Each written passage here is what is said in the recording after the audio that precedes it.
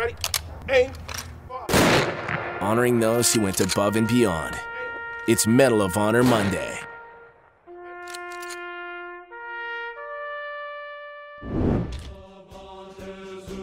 For extraordinary heroism and conspicuous gallantry in action against enemy Japanese forces above and beyond the call of duty while serving with 1st Battalion, 7th Marines, 1st Marine Division in the Lunga area, Guadalcanal, Solomon Islands on the 24th and 25th of October 1942.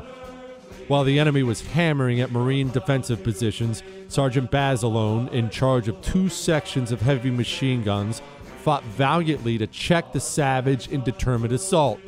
In a fierce frontal attack with the Japanese blasting his guns with grenades and mortar fire, one of Sergeant Basilone's sections, with its gun crew, was put out of action, leaving only two men able to carry on. Moving an extra gun into position, he placed it in action, then, under continual fire, repaired another and personally manned it, gallantly holding his line until replacements arrived.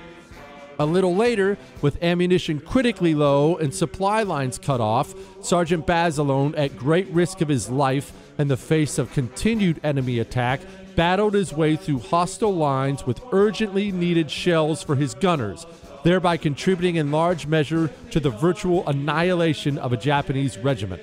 His great personal valor and courageous initiative were in keeping with the highest traditions of U.S. naval service.